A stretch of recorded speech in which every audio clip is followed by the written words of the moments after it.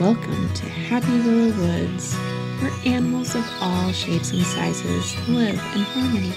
Today we will check in on a beautiful little hive that houses a colony of busy bees. Let's try not to disturb the perfect balance of these social creatures. A honeybee colony typically consists of three kinds of adult bees workers, drones, and a queen. Each member has an essential role in keeping the hive and individual bees cannot survive without the support of the colony. Worker bee's job is to collect nectar and spread. To find food, she needs to travel a couple miles from her home to scout out plants. Honeybees see the world in ultraviolet and are attracted to flowers that are big, bright, colorful, and sweet smelling.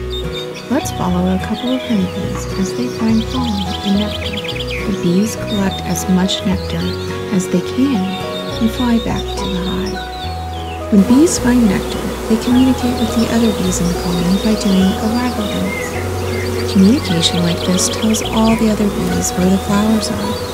If the flowers are found to the left of the sun, the honeybee waggles to the left.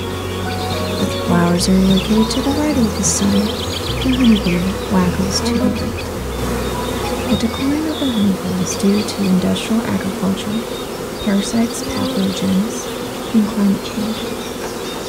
The loss of habitat and lack of nectar due to monocultures that lack plant diversity and bee-killing pesticides are threats for honeybees and wild pollinators. If the honeybee does not have a healthy habitat to collect nectar and spread pollen, our food supply will be less varied and less varied. Honeybees might be small but are very special and important to mankind. It is up to you to keep honeybees like those in happy willow woods, healthy, happy, and happy. Start by planting a bee-friendly garden for pollinators or create a solitary bee.